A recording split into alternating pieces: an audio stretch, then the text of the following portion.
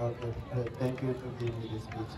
Uh, I say thank you uh, to my teammate. I say thank you to my club, Novo Jagogam. Hip hip. Novo Jagogam. Hip hip. Okay, guys. I say thank you to the community also because the tournament is well organized. I enjoy and I hope in the final we still enjoy. Thank you. Augustine, don't.